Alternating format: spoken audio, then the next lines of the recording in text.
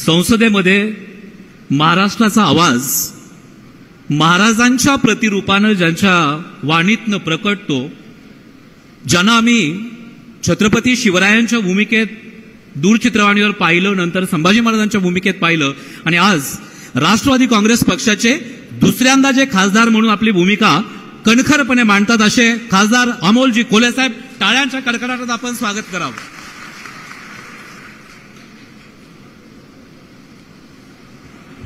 आदिशक्ती तुळजाभवानी उभ्या हिंदुस्थानचं आराध्य दैवत छत्रपती शिवाजी महाराज. आणि छत्रपती शिवाजी महाराजांनी या महाराष्ट्राच्या मातीतल्या माणसाला जगावं कसं हे शिकवल्यानंतर याच मातीतल्या माणसाला शेवटच्या श्वासापर्यंत स्वाभिमानानं लढावं कसं हे शिकवणारे छत्रपती संभाजी महाराज यांच्या पवित्र स्मृतीनं अभिवादन करतो. आजच्या बीड शहरातल्या या शिवस्वराज्य यात्रेच्या सभेसाठी ज्यांनी आपल्याला मार्गदर्शन केलं ते राष्ट्रवादी काँग्रेस शरदचंद्रजी पवार पक्षाचे प्रदेशचे अध्यक्ष माननीय जयंतरावजी पाटील साहेब माननीय खासदार बजरंग बाप्पा सोनावणे जिल्ह्याचे अध्यक्ष आणि इथले आमदार आमचे मित्र संदीप भैया क्षीरसागर माननीय सय्यद सलीमभाई ज्यांचे आशीर्वाद खरं तर लाभले ते आदरणीय रमेश महाराज पोहरादेवीकर मान्य उषाताई दराडे हेमाताई पिंपळे पूजाताई मोरे सुशीलाताई मोराळे संजीवनीताई देशमुख मान्य ॲडव्होकेट बागलसाहेब नागेशजी पाटे पंडितजी कांबळे श्रीरामजी मुंडे कुंदनजी काळे रेहनाजाई आणि दत्तात्रयजी येवले. सर्व पत्रकार बांधव व्यासपीठावरील सर्व मान्यवर जर कुणाचं नाव घ्यायचं राहून गेलं असेल तर चिठ्ठी देणाऱ्याची चूक आहे त्यात माझी चूक नाही बाप्पा. सर्व पत्रकार बांधव आणि आपण सगळेजण सगळ्यांना जय शिवराय. खरं तर दोन गोष्टी आहेत. एक म्हणजे सर्वप्रथम आपणा सर्वांना भारताच्या स्वातंत्र्य दिनाच्या मनपूर्वक शुभेच्छा देतो सदिच्छा देतो. कारण हजारो लाखो क्रांतिकारकांच्या स्वातंत्र्य सैनिकांच्या स्वातंत्र्यवीरांच्या बलिदानानं देश स्वतंत्र झाला. दुर्दैवानं काही अंधभक्त म्हणतात दोन हजार चौदा साली देश स्वतंत्र झाला. पण जो खरा स्वातंत्र्य दिन आहे त्या आपल्या पंधरा ऑगस्टच्या स्वातंत्र्य दिनाच्या आपणा सर्वांना मनपूर्वक सदिच्छा शुभेच्छा देतो. आणि स्वातंत्र्य असं चिरायू होवो. मी कोणत्याही जातीत कोणत्याही धर्मात कोणत्याही पंथात कोणत्याही प्रांतात जन्माला आलो असलो तरी सुद्धा त्याचा न्यूनगंड किंवा अहंकार न बाळगता माझ्या कर्तृत्वानं माझं व्यक्तिमत्व अशा उंचीवर नेऊन ठेवेन की माझा माझ्या जातीला माझा माझ्या पंथाला माझा माझ्या धर्माला आणि सगळ्यात महत्वाचं म्हणजे माझा माझ्या राष्ट्राला अभिमान वाटेल. हे दाखवून देणारा दिवस म्हणजे आजचा स्वातंत्र्य दिवस. का स्वातंत्र्य सैनिकांचं स्वातंत्र्य वीरांची आजची जर आठवण काढली ही आठवण काढत असताना तुम्ही साधं लाल बाल पाल म्हणता. बाळ गंगाधर टिळक लाला लजपतराय हे जेव्हा तुम्ही म्हणता तुम्ही शहीद भगतसिंगांची आठवण काढता तुम्ही मौलाना अबुल कलाम आझादांची आठवण काढता या सगळ्यांची आठवण काढताना एकच गोष्ट भावांनो लक्षात येते कोण कुठल्याही जातीत कोणत्याही धर्मात जन्माला आला असला तरी त्याच्या काळजात हे देशप्रेम होतं त्याच्या काळजात हा तिरंगा होता आणि म्हणून आजचा हा स्वातंत्र्य दिन आपण साजरा करतो. आणि म्हणूनच दुसऱ्या एका गोष्टीसाठी तुमचं मनापासून अभिनंदन करीन आणि आभार मानेन. कारण या लोकसभा निवडणुकीच्या वेळी सगळ्या देशाचं लक्ष लागून राहिलं होतं महाराष्ट्राकडं. कारण गेल्या दोन अडीच वर्षामध्ये महाराष्ट्रामध्ये जी काही राजकारणाची परिस्थिती झाली होती कारण तवर आपण ऐकलं होतं चप्पल विकत घेता येते कपडा विकत घेता येतो मोबाईल विकत घेता येतो पेन विकत घेता येतो. पण गेल्या दोन अडीच वर्षात महाराष्ट्रानं बघितलं आमदार विकत घेता येतो मंत्री विकत घेता येतो. आणि पन्नास खोके एकदम ओके म्हटलं की सगळ्यांची महाराष्ट्राकडे नजर जायला लागली होती. आणि या अशा परिस्थितीमध्ये महाराष्ट्राकडे लक्ष लागून राहिलं होतं की या पद्धतीनं दबावाच्या राजकारणासमोर महाराष्ट्र झोकणार. इन्कम टॅक्स सीबीआय ईडीच्या दबावापुढे महाराष्ट्र झोकणार. पन्नास खोक्यांच्या खरेदीकडे महाराष्ट्र झोकणार की महाराष्ट्र स्वाभिमानाच्या बाजूने उभा राहणार. तुम्ही दाखवून दिलं बजरंग बाप्पाला त्रेसष्ट हजाराची लीड या मतदारसंघातून देऊन. की महाराष्ट्र हा विकला जात नाही महाराष्ट्र दबावापुढे झुकत नाही महाराष्ट्र हा स्वाभिमानाच्या पाठीशी उभा राहतो. आणि तुम्ही पठ्ठ्या पण काय पाठवलाय? बाप्पाने मगाशी सगळी यादी वाचली. बाप्पा यादी वाचत असताना मला काळजी लागून राहिली. म्हणलं मागच्या टर्ममध्ये आपण जेवढं केलं नाही तेवढं बाप्पानी पहिल्याच अधिवेशनात सुरू केलंय. गमतीचा भाग सोडून द्या पण ही जी चिकाटी आहे, हा जो चिवटपणा आहे यासाठी इतका दमदार आमदार तुम्ही दमदार खासदार तुम्ही पाठवला त्याबद्दल तुमचं मनापासून अभिनंदन करतो आभार मानतो आणि त्याच वेळी आभाराबरोबर एक जबाबदारी पण टाकतो. जबाबदारी आमच्या युवा मित्राची आहे. जशी कामगिरी तुम्ही लोकसभेला केली तशीच कामगिरी आमच्या संदीप भैयासाठी विधानसभेला झाली पाहिजे ही तुमची जबाबदारी आहे. मनापासून सांगतो कौतुक आहे या माणसाचं कौतुक आहे या माझ्या युवा मित्राचं. भावांनो जेव्हा दोन जुलैला निर्णय घ्यायची वेळ आली ना तेव्हा साधा निर्णय नव्हता. समोर जेव्हा काळा समोर पत्थर दिसतो समोर काट्या कुट्याची वाट दिसती. आणि जेव्हा काट्या कुट्याची वाट दिसत असताना संदीप भैयाला काय ऑफर नव्हती गालीच्यावरून चालण्याची? संदीप भैयालाही सांगितलं होतं तुझ्यासाठी सुद्धा विकास निधीचे गालीचे अंथरले जातील. संदीप भैयाला सुद्धा सांगितलं जातं ही प्रलोभनं दाखवली जात होती पण या पठ्ठ्याचा अभिमान आहे मला का या पठ्ठ्यानं स्वाभिमानाची वाट निवडली? या पठ्ठ्यानं वाट निवडली ती आदरणीय शरदचंद्रजी पवार साहेबांच्या विचारावर जाण्याची वाट निवडली. आणि मगाशी भैया बोलताना तुम्ही म्हणाला डीपीडीसीच्या निधीचे आमदार निधीचे. आम्ही त्याचेच बळी आहोत आम्ही त्याचे शिकार आहोत. त्यामुळे संदीप भैयाविषयी प्रचार करताना कोणी जर म्हटलं पाच वर्षात आमदारांनी काय केलं तर सांगा पाच वर्षापैकी फक्त अडीच वर्ष सत्तेतला आमदार होता. अडीच वर्ष नजरेत धरलं होतं डोळ्यापुढं धरलं होतं आणि एक विकासाचा रोपडा कसा जाणार नाही याची काळजी घेणारे सत्तेत बसले होते. बरोबर का नाही भैया?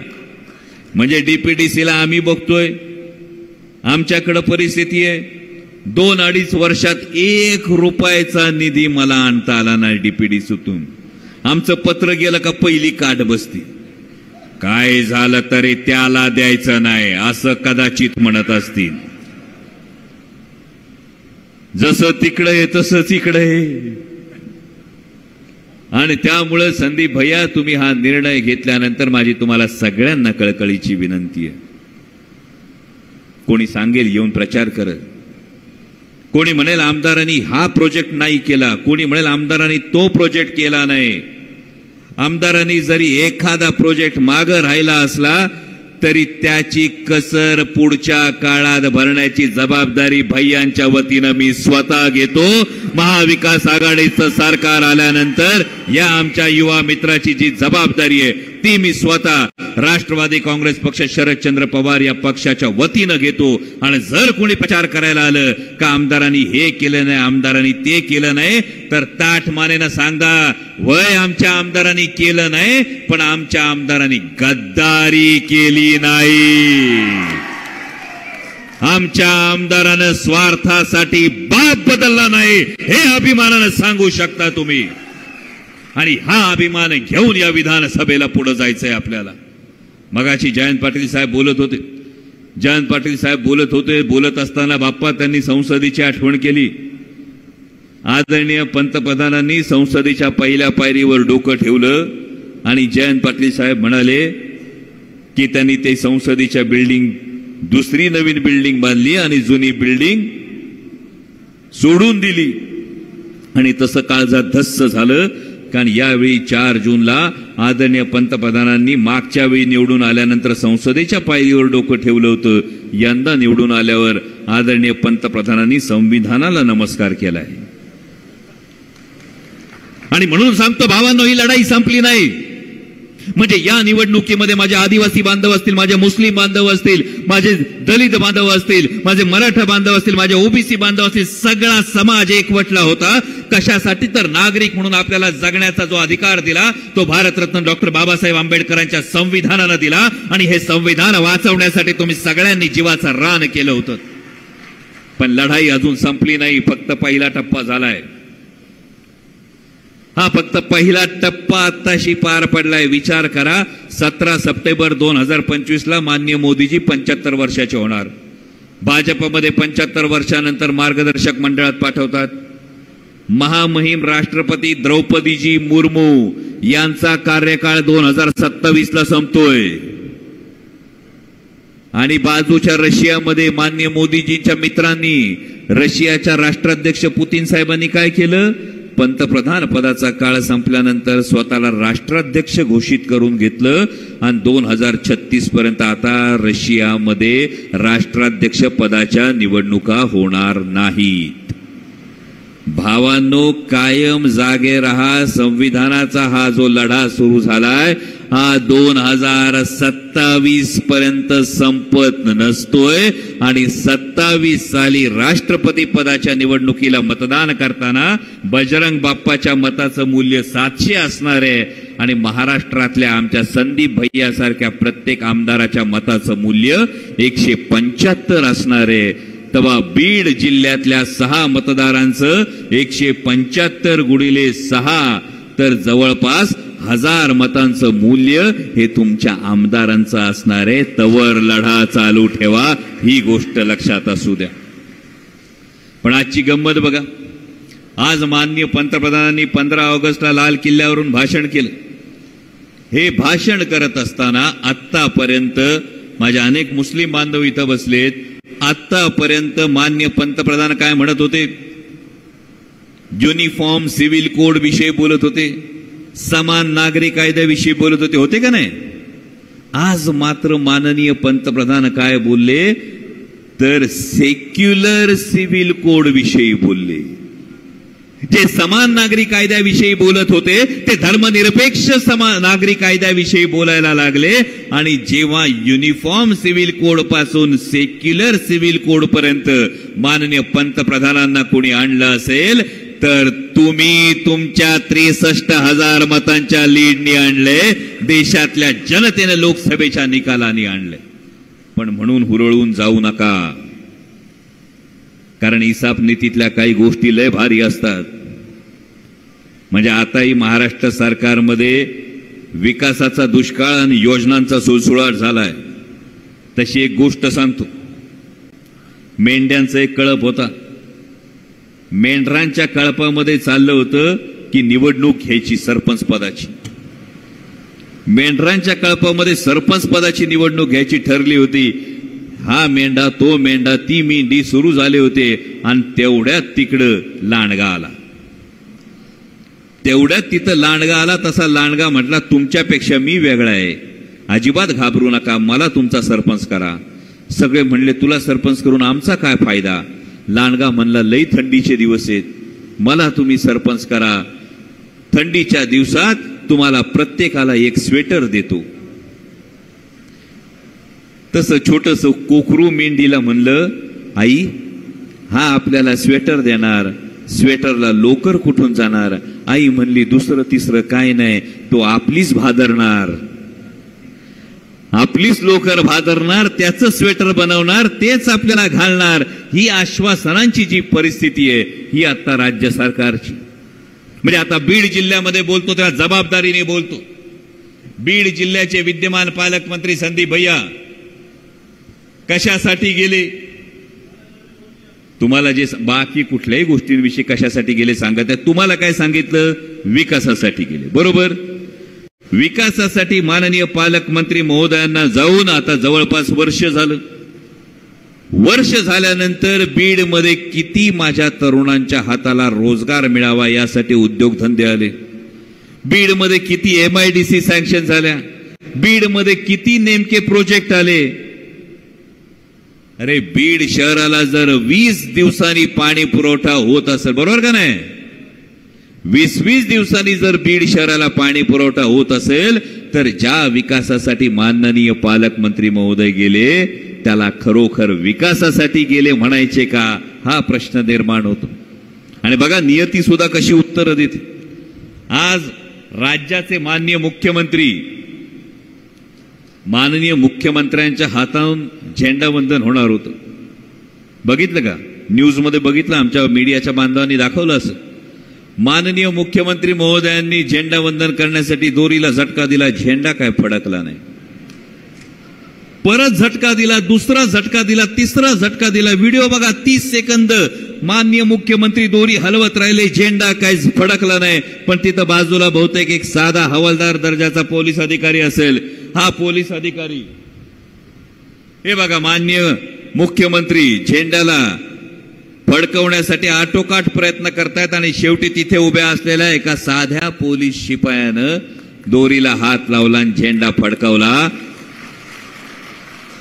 मान्य मुख्यमंत्री महोदयांचं या कारकिर्दीतलं खरं तर शेवटचं झेंडावंदन होतं.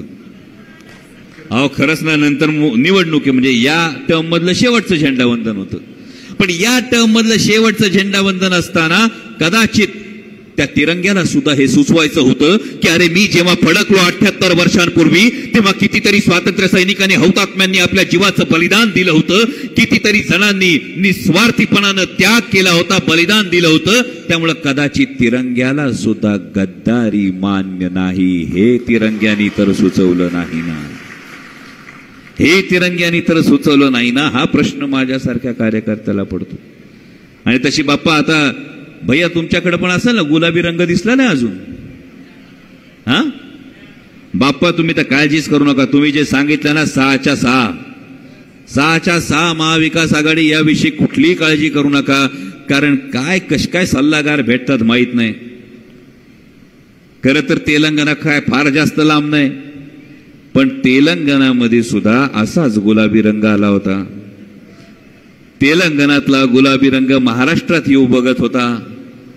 आणि तेलंगणामध्ये चंद्रशेखर रावांचं जे केसीआरचं जे सरकार होतं ते तेलंगणामध्ये हा गुलाबी रंग घेतला आणि सपशेल तोंड आपटले. आता महाराष्ट्रात गुलाबी रंग कोणी घेतलाय त्याचा तुम्ही विचार करा. त्यामुळे तुमची सहाच्या सहा निवडून यायला काय हरकत असेल असं वाटत नाही. पण आज एक विधान ऐकलं आणि माझ्यासारख्या कार्यकर्त्याला विचार करावा लागला. भैया काळजीपूर्वक ऐका.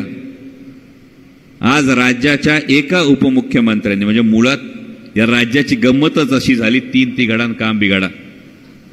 काल परवा एका मु- उपमुख्यमंत्र्यांनी विधान केलं की दोन शहरांमध्ये त्यांच्या जीवाला धोका आहे आणि माझ्यासारख्या कार्यकर्त्याला प्रश्न पडला एक उपमुख्यमंत्री म्हणतो माझ्या जीवाला धोका आहे. आणि दुसरा उपमुख्यमंत्री राज्याचा गृहमंत्री असतोय. म्हणजे एका उपमुख्यमंत्र्याचं रक्षण दुसरा उपमुख्यमंत्री करत नाही हा एका उपमुख्यमंत्र्याने दुसऱ्या उपमुख्यमंत्र्यावर घेतलेला संशय आहे की दुसऱ्या उपमुख्यमंत्र्याची हातबलता पहिल्या उपमुख्यमंत्र्यांनी उघड केली हेच कळत नाही. आणि मग माझ्यासारख्या कार्यकर्त्याला प्रश्न पडतो जेव्हा महाराष्ट्र राज्याचे उपमुख्यमंत्री खरं तर मोठे नेते आहेत. पण हे मोठे नेते आदरणीय अजितदादांनी आज एक विधान केलं कुठंतरी वाचलं हे विधान असं आहे भावांनो की सात आठ निवडणुका झाल्या आता निवडणुकीत रस नाही. आणि हे विधान ऐकल्यानंतर मी एकदम बाप्पा फ्लॅशबॅकलाच गेलो. म्हणजे आमच्या लोकसभेच्या निवडणुकीला आमच्या शिरूर लोकसभा मतदारसंघात येऊ येऊ दादा म्हणत होते. हा पठ्ठ्या लढायला नाही म्हणत होता. हा पठ्ठ्या लढायला नाही म्हणत होता. मला वाटलं मोठे नेते त्यांच्यासमोर फक्त आरसा धरावा का काय? कारण आता त्यांना निवडणुकीत रस वाटण असा झालाय. आणि म्हणून माझ्यासारख्या कार्यकर्त्याने अभ्यास केला. आम्ही तर एवढ्या मोठ्या नेत्यावर बोलू शकत नाही. माझ्यासारख्या कार्यकर्त्याने अभ्यास केला आदरणीय दादांची जवळपास चौतीस वर्ष राजकारणात पूर्ण झाली. एक्क्याण्णव साली दादा राजकारणात आले. आता राजकारणात कसं असते? आपल्याकडे चार दिवस सासूचे चार दिवस सुनेचे म्हणतो. तसं राजकारणात चार दिवस सत्तेचे चार दिवस विरोधाचे. पण आदरणीय दादांच्या राजकीय कारकिर्दीचा विचार केला तर साडे बावीस वर्ष दादा सत्तेत आहेत. फक्त पंच्याण्णव ते नव्याण्णव आणि चौ दोन हजार चौदा ते दोन हजार एकोणीस आणि मधला महाविकास आघाडीचं सरकार गेल्यानंतरचं एक वर्ष एवढाच फक्त अकरा वर्षाचा काळ दादा सत्तेत नाहीत. त्यामुळे सहासष्ट टक्के सत्तेत तेहतीस टक्के फक्त विरोधात. आणि असं असताना या सहासष्ट टक्क्यामध्ये या साडे बावीस वर्षामध्ये जी सत्ता उपभोगली ती आदरणीय शरदचंद्रजी पवार साहेबांच्या विचारानं त्यांच्या आशीर्वादानं उपभोगली स्वतःच्या हिमतीवर मिळवली ती पण गद्दारी करून ती फक्त एक वर्षाची सत्ता. आणि आता आदरणीय दादा म्हणायला लागले की आता राजकारणातून म्हणजे निवडणुका लढण्यात रस राहिला नाही त्यावेळी माझ्यासारख्या कार्यकर्त्याला एकदा कळून चुकतं. बाप्पा भैया झाड किती बी मोठं किती बी उंच आणि किती बी डेरेदार असलं तरी झाडाची जर मुळं सुटली तर झाड काय टिकत नाही आणि नेत्याची विचारधारा सुटली तर नेत्याचं खरं उरत नाही. आणि त्याच पद्धतीने विचार करा. आंब्याच्या झाडाला पेरूचं कलम केलं. येणार काय झाडाला? सांगा. आंब्याच्या झाडाला पेरूचं कलम केलं तर येणार काय? आणि त्याच पद्धतीनं आयुष्यभर फुले शाहू आंबेडकरांच्या विचारावर चालणारा एखादं कलम जर ते जातीयवादी विचारावर झालं तर झाडाला काही येईना दिसतंय. आणि म्हणून कदाचित बारामती लोकसभा मतदारसंघामध्ये बारामती विधानसभेमध्ये अठ्ठेचाळीस हजारांनी पिछाडी झाल्यानंतर आता निवडणुकीतला रस निघून गेला का काय असा माझ्यासारख्या कार्यकर्त्याला प्रश्न पडतो. पण आपल्यासाठी एकच. संदीप भैया एकच गोष्ट महत्वाची आहे ती म्हणजे खोडाला सोडलं नाही आणि फांद्यांना लटकायचा प्रयत्न केला नाही. जो खोडाला धरतो त्याला पडायची भीती राहत नाही. तुम्ही खोडाला धरून राहिलाय त्यामुळे त्याची काळजी करू नका. आणि म्हणूनच आता वेगवेगळ्या गोष्टी सुरू झाल्यात. खरं तर लाडकी बहीण योजनेवर काय बोलायचं कारण नाही. काय? कारण पत्रकार बांधवांनी मला सांगितलं होतं की बीड जिल्ह्यामध्ये या शब्दाला बरीच वर्ष मज्जा होता म्हणे. का होती लाडकी बहीण? हा? लाडकी बहीण लाडकीच होती का? हा? म्हणजे मला असं कळलं बारामती आणि बीड दोन ठिकाणी याविषयी गमतीचा भाग सोडून द्या पण या योजनेला विरोध नाही. योजनेला विरोध असण्याचं कारणच नाही कारण भावा बहिणीचं जे पवित्र नातं आहे पण भावा बहिणीच्या पवित्र नात्याला जेव्हा व्यवहारामध्ये तोललं जातं त्या गोष्टीला विरोध आहे. योजनेला विरोध नाही पण योजने मागच्या हेतूला नक्कीच विरोध आहे. कारण एवढी वर्ष बहीण लाडकी नव्हती का? आदरणीय अजितदादांनी नऊ वर्ष नऊ वेळा अर्थसंकल्प आदरणीय दादांनी जाहीर केला. या नऊ वेळा जाहीर केलेल्या अर्थसंकल्पात कधी लाडक्या बहिणीची आठवण झाली नाही पण जेव्हा लोकसभा निवडणुकीमध्ये जनतेने फटका दिला तेव्हा बहीण लाडकी झाली. ही वस्तुस्थिती नाकारून चालत नाही. आणि म्हणून सगळ्या भावांनाही माहिती आणि सगळ्या बहिणींनाही माहिती. म्हणून मग सांगतो योजनेला विरोध नाही पण विचार करा. ताई पंधराशे रुपये अकाउंटवर आले. म्हणून सोशल मीडियावरची चाळीस पैशाची लावारीस फक्त लई बोंबा बोंब करायले आले पंधराशे आले पंधराशे आले पंधराशे. आमची बहीण म्हटली त्यातले गॅससाठी गेले साडेआठशे गेले साडेआठशे उरले फक्त साडेसहाशे. आता तेल कितीचं मीठ कितीचं डाळ कितीची असा कसे पुरतील पंधराशे? हा बहिणीचा प्रश्न असताना बहीण त्यांना विचारते भावाच्या सोयाबीनला भाव आहे का? दाजीच्या सोयाबीनला भाव आहे का? अरे बेंबीच्या देठापासून ओरडू ओरडू दिंडी काढली होती. या दिंडीत सांगितलं होतं सोयाबीनला सहा हजार रुपये भाव मिळाला पाहिजे. सांगितलं होतं का नाही? किती मिळतोय? मिळतोय चार हजारचा नुकसान किती क्विंटल माग?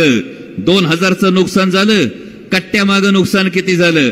कट्ट्यामागं नुकसान झालं बाराशे ते पंधराशेचं नुकसान झालं का नाही कट्ट्यामागं तुमचं? आता सांगा एकरात कट्टे किती निघतात आपले? दहा कट्टे फक्त निघाले तरी राजे हो पंधरा हजाराचं नुकसान झालंय दाजीचं आणि बहिणीला पंधराशेची ओवाळणी घालता वय रे. त्यामुळं बहीण विचारते तुम्ही गायीवर बोलता महागाईवर बोलत नाही तुम्ही रामाचं बोलता कामाचं बोलत नाही आणि तुम्ही शेतकऱ्याच्या शेतमालाला मिळणाऱ्या दामाचं बोलत नाही. त्यामुळं बहीण सांगती ओवाळणी जरूर द्या पण त्याचबरोबर दाजीच्या सोयाबीनला भाव द्या दाजीच्या कपाशीला भाव द्या. आणि भाच्याच्या नोकरीचं काहीतरी बघा. भाच्याच्या नोकरीला का, हाताला काम द्या हे ती सांगते. आणि म्हणून लाडकी बहीण योजनेचे पैसे आले तर काढून घ्यायला विसरू नका. आपलेच पैसे लोकांचं कोण खिशातून देत नाहीये. बाळ जन्माला येतं त्या बाळाला दुपटं घालतोय ना त्या दुपट्यावर बी जीएसटी आहे आणि माणूस जेव्हा जातो तेव्हा कफनच्या पैशाला सुद्धा तिरडीवर अंथरलेल्या कापडावर सुद्धा जीएसटी आहे.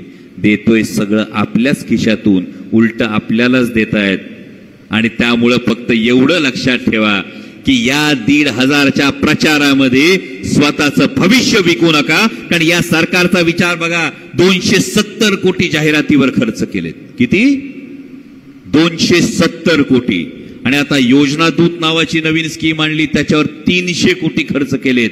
म्हणजे एकूण फक्त जाहिरातीसाठीचा खर्च किती? तर पाचशे सत्तर कोटीचा खर्च होतोय. कशासाठी पाचशे सत्तर कोटी खर्च करावे लागतात?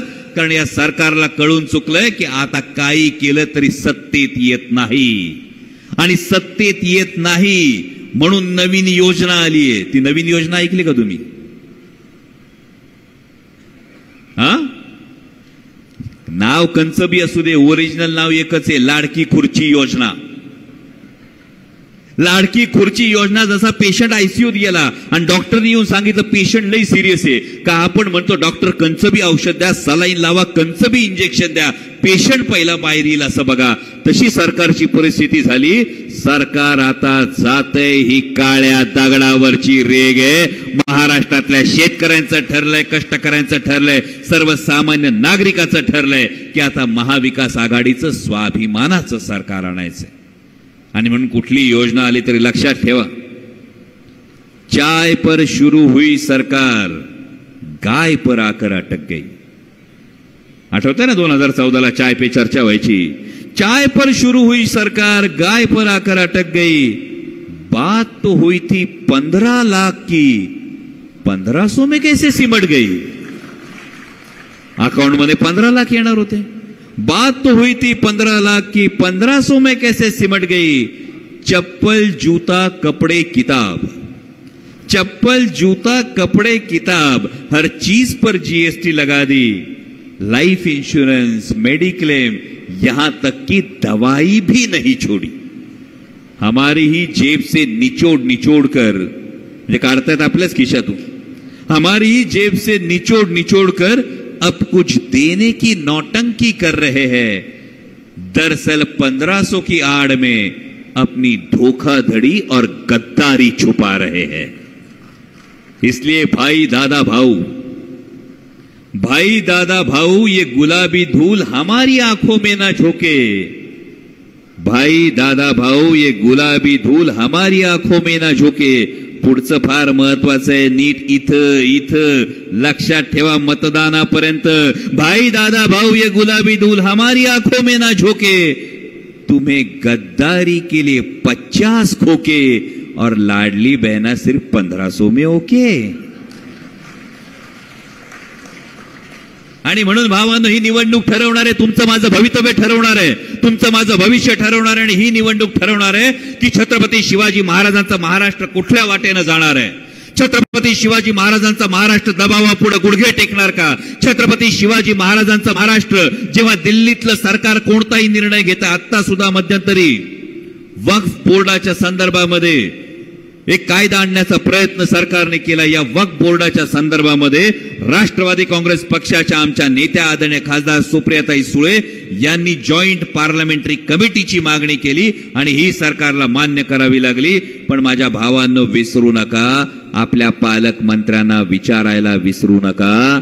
विकासासाठी केलेल्या एका पक्षानं या संदर्भात कोणतीही भूमिका स्पष्ट केलेली नाही.